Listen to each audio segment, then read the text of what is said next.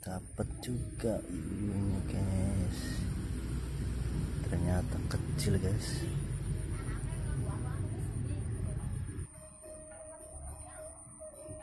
Terlepas lagi ya.